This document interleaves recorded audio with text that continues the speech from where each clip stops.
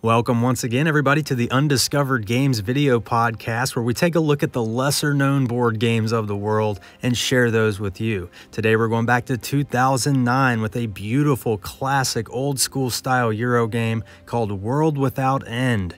Now, if the box looks familiar, that's because this is the sequel to The Pillars of the Earth, which is a very popular worker placement game that's been around for a long time. So, World Without End came second in the trilogy, followed by A Column of Fire. These are all based on Ken Follett's Kingsbridge novels.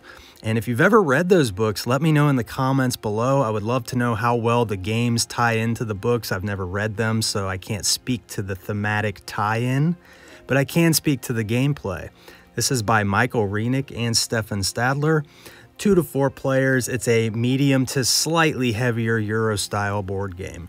And you're going to be doing all sorts of things like collecting resources to build out on the board, or gaining loyalty to the king so you don't have to pay your taxes, or collecting medical knowledge so you can heal the sick during the plague.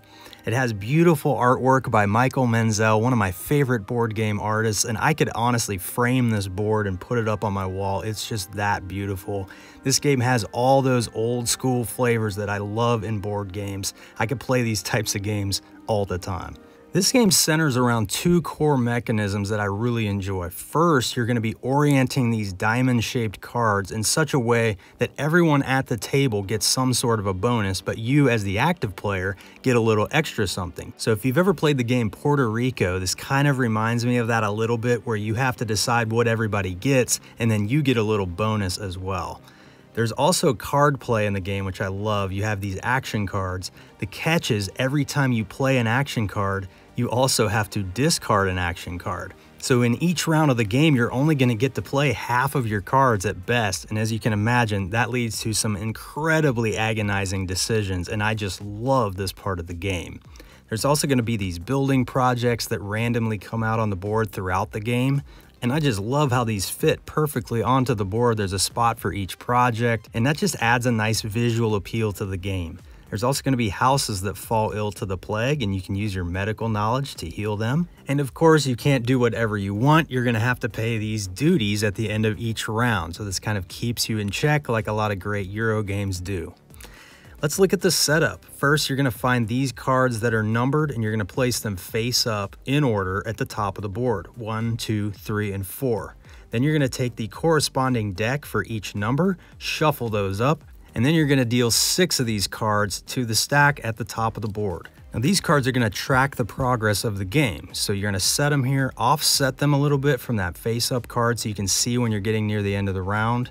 And each era is going to last, you guessed it, six rounds. So each card is a round. Each era is six rounds. There's four eras in the game. So if you do the math, you're going to get 24 turns total in this game.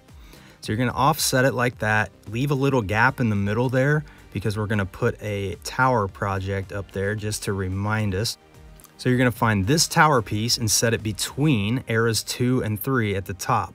Find the plague tokens, these little black circles, mix those up and place them next to the tower. This is just going to remind us to put these out on the board when we get to that point in the game.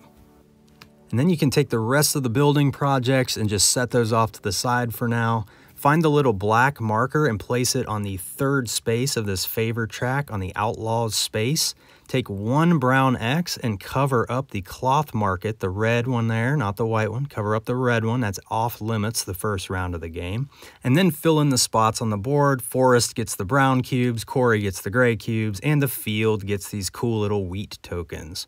You're also going to have some cloth and wool wooden resources over here on the side of the board, as well as your coins and your medical books and your loyalty crowns. All this, just put it within reach of the board. The piety tokens go over here in the cathedral, and all this other stuff, just keep it close by. Once you determine a start player, give them this start player token, and then everybody gets a deck of action cards. There's 12 cards in each deck, and they're color coded on the back for the player colors. And every deck is identical. Every player gets the exact same 12 cards. And once everybody has those decks, I want to draw your attention to this little diamond in the top of the board here. The game suggests sitting top, down, left, and right from each other. Now, if you don't have a square table, that's hard to do. So what I like to do is take a cube from another game in each player color and put it on each corner of the diamond in player order, the way you're sitting around the table. This will make that section much easier to visualize. You'll see that in a minute. Now you're going to take your scoring marker for each player and place it on the number 8 section of the score track. Everybody starts out with 8 points, and then each player also gets two donation seals in their color as well as four houses in their color. Finally, give each player one wool and two coins to hide behind their screens. Everybody starts with the same stuff. You just want to keep it hidden behind your player screen here. And one final thing, find the bridge building project. It looks like this. Place that on the appropriate spot on the board. And now you're ready to play World Without End. Now this is what the board should look like at the beginning of the game. This is the initial setup of the game.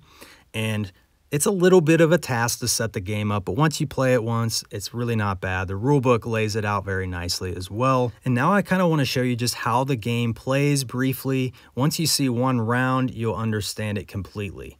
There's four eras in the game, once again marked by these stacks of cards.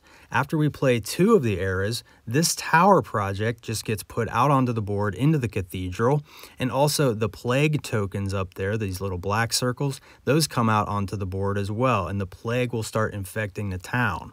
So let's say the green player is the start player. They're going to draw the top event card, and we are in era one here, so they're going to draw the top card, and they're going to read the text.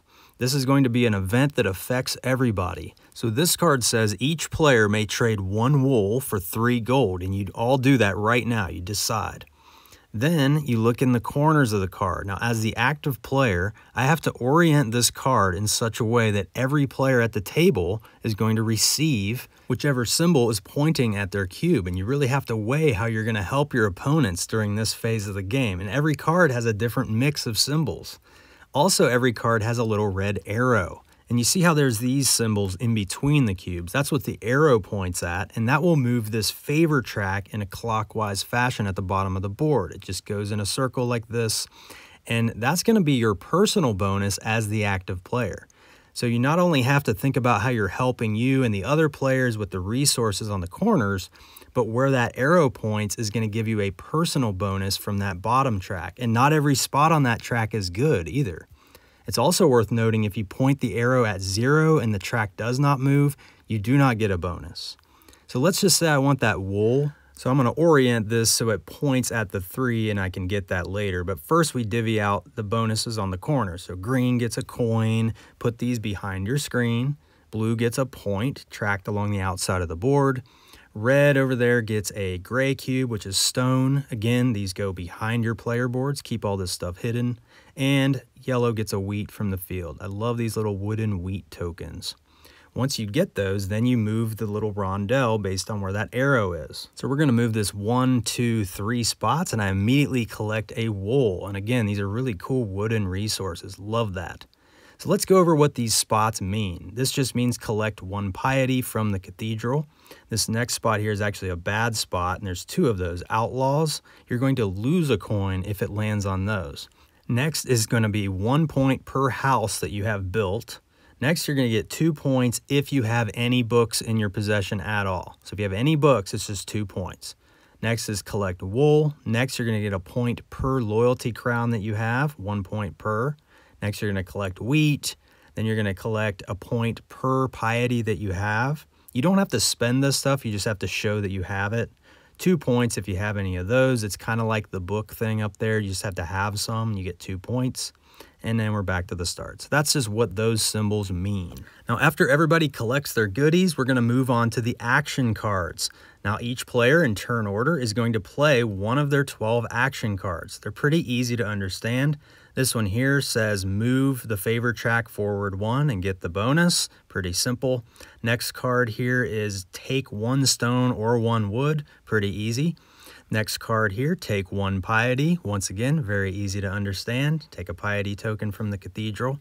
Next, we have the take a grain from the field. Again, this stuff is very simple. Privilege card lets you play the last action that you played again. So that one's kind of interesting. Now, the building project card is a great way to get points in this game. You can contribute two resources for three points each. Right now, we only have the bridge to build on, and that requires five stone. But later in the game, more of these building projects will come out. And notice how some of the squares are brown and some are gray. That just means, you know, wood or stone have to go on those spots. And you can contribute using that building project card to get some big points throughout the game. But remember, anybody can contribute to these, so you're going to be fighting with each other to contribute those and get those big points. Now, wool and cloth sales lets you sell any amount of wool and or one cloth for the money shown. Now, starting out the game, you can only sell wool. We have the cloth market marked off. That will come off later. But right now, we could sell our wool for two money each, and that would be four money starting out. That would not be a bad first turn.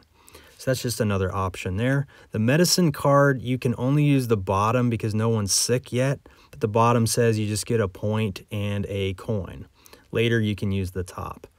Building a house, there's a small typo on this card. It says pay one gold and either one wool or one stone. It should say one wood or one stone.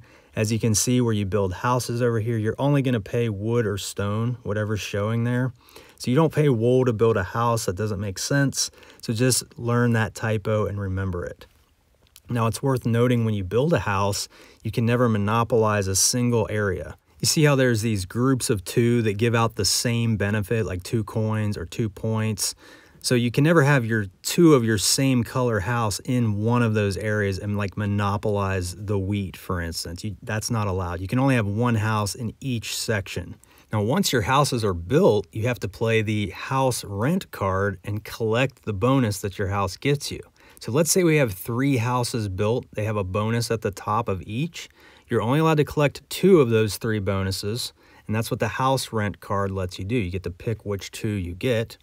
Donation is a fun card. You pay one coin and you get to put one of your donation seals on a building project that's not finished yet. And this is kind of a fun way to capitalize off of other people's work. So if I donate to this, once these bricks get filled in, I will get the bonus down here at the bottom. Now, multiple players can donate to this project as well, but I don't have to contribute a single stone to that to get the reward. And each building project that comes out is going to have a different reward for people who donate to it. And that adds a really nice player interaction um, as you all donate to each other's projects. The projects come out based on the event card, so you never know which projects will be available in a given game. But that's just another subtle layer that I really like in this game. The last card's very simple. Cloth production lets you turn one or two wool into one or two cloth, and that's all the action cards. So on your turn, you get to play a card and discard a card. Remember that. You have 12 cards, but you're only going to get to play half of them. So let's just say I want to play the building material card here to collect a resource. So I play that and I immediately either take a wood from the forest or I could get a stone from the quarry. So I'm going to take a stone, put it behind my screen. Now I have to immediately discard a card. This is where the game gets so good. If you've ever played Bruges, it kind of reminds me of that where you want to use all your cards for everything, but you can only use a portion of them.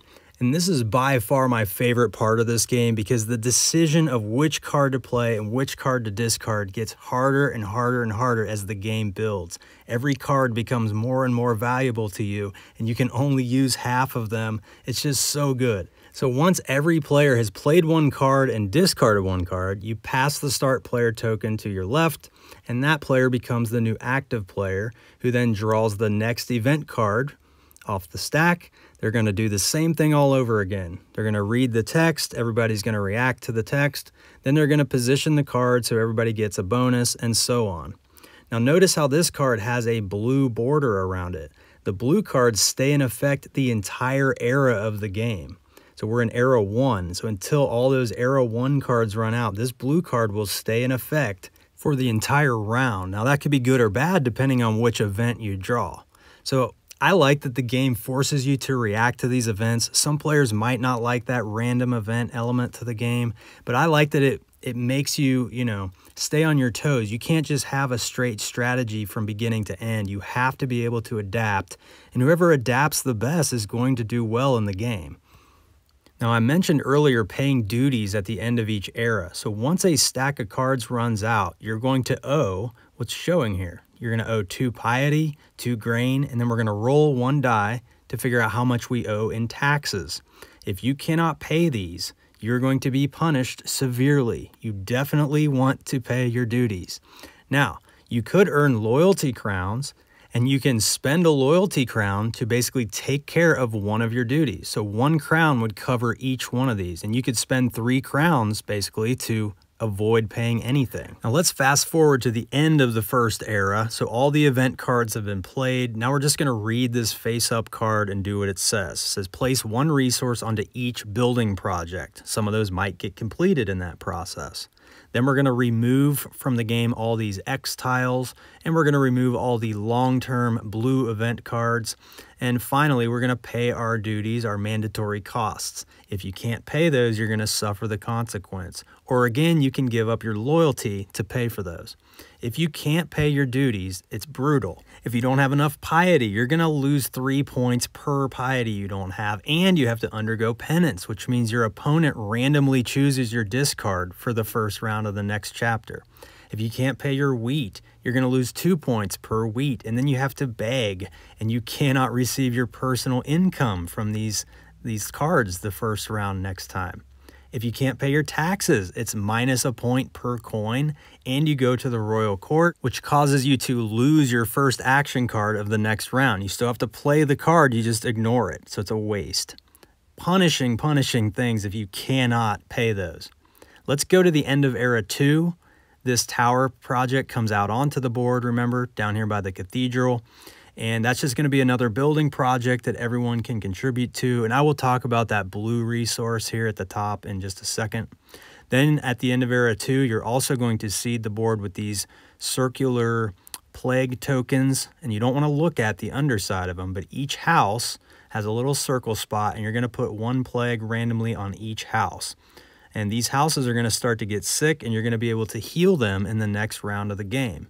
So let's say it's the start of the next round, which would be era three. Now these cards are going to show which houses fall ill to the plague. So there's this little number here. That's just which house you flip over. So you look for house number five, flip over the plague token, and that just says you need three medical knowledge to heal that house. So in that case, we would need to have three books in our possession and then play the medicine card to heal that, that house. You don't spend your books, you just have to have them. You could even cure multiple houses with one medicine card if you have enough medical knowledge. So if I had this, I could play this medicine card. If I had five books in my stash, then I could cure both of those houses in one turn. And each house gives you a bonus plus two points. So if you cure that house or that house, you get the bonuses plus two points for each house. So those medical books can be huge in the second half of the game. You get two points for each house plus bonuses. That is a powerful, powerful card if you invest in medical knowledge early on in the game. After you heal the houses, the tokens come off the board and those houses no longer get sick. So there's a little bit of a race to heal the sick as well in this game. Let's say I'm about to complete this tower project here. Let's show you how this works. So I have to play the building project card, and that lets me contribute up to two resources to a single project, again, for three points each. So I'm going to contribute one stone and one wood. Now on this project, when this happens, you evaluate who has the most loyalty to the king, so the most crowns. They get to take the blue metal resource and place it on the top and finish the project, and that's just worth another three points. But that project is a little bit different in that regard. Again, players who donate are going to get the reward, so if, if yellow and red donated to that, they would also get the bonus reward at the bottom. But that's how that tower project is slightly different. You check for loyalty to get that blue resource. Now let's look at this house area again. Now with four players, I love this section of the board because everyone's fighting over these spots. There's only two, you know, bonus resources of each type and everyone's going to fight over those. Now with two players, that's not quite as good, but the game plays pretty well at all player counts still. I just love the interaction when you get four players. Everyone's competing to build on these building projects and there's just a, there's a nice tension there between everybody at four players. So again, it's a pretty standard Euro game. You're doing a lot of different things to get points. There's some interaction, there's some punishing moments, there's a little bit of randomness, but there's still ways to adapt to that. I really like how this game does it. It's pleasant to look at. It's got a very streamlined design. The rulebook could be written a little bit better, I think, but for the most part, it's very easy to understand. And I would highly recommend if you like these older style Euro games.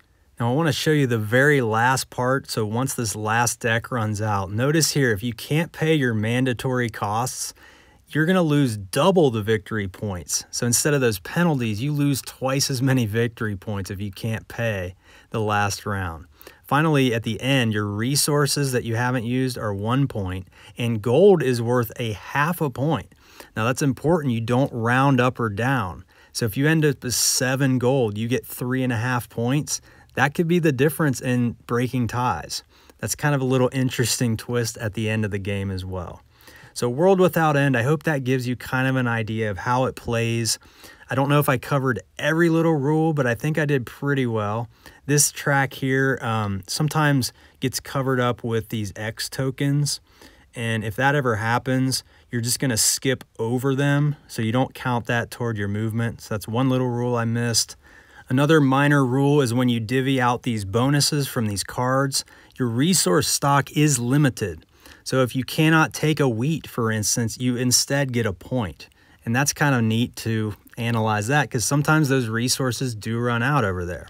So I think I covered all the rules for the most part. I definitely recommend reading the rule book if you get this game, but I kind of wanted to just show you how the game played while I reviewed it a little bit and talked about it. So hopefully you have an understanding now about World Without End and if it's one you would want to check out.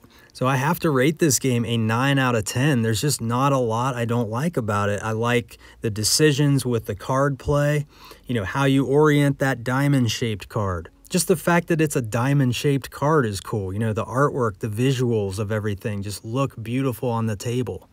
I love the, you know, agonizing decisions of play a card, discard a card every time. That just gets crazy hard to figure out as the game builds and those cards become more and more important.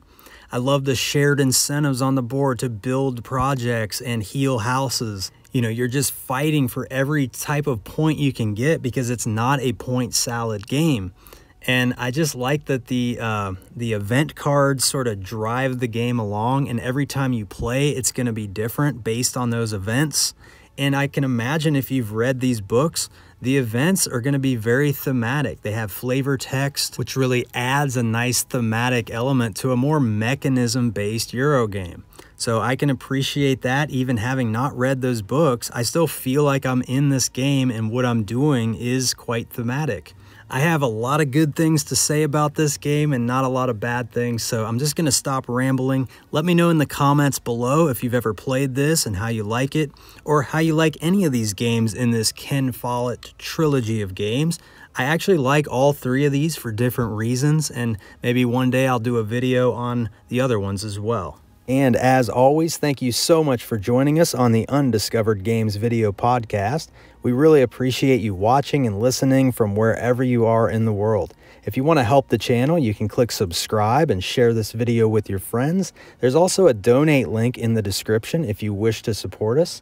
Any proceeds go toward making more videos like this and just better quality content in the future. We really have a passion for finding these undiscovered games and sharing them with you. Also, we have an Instagram page if you're not familiar with that.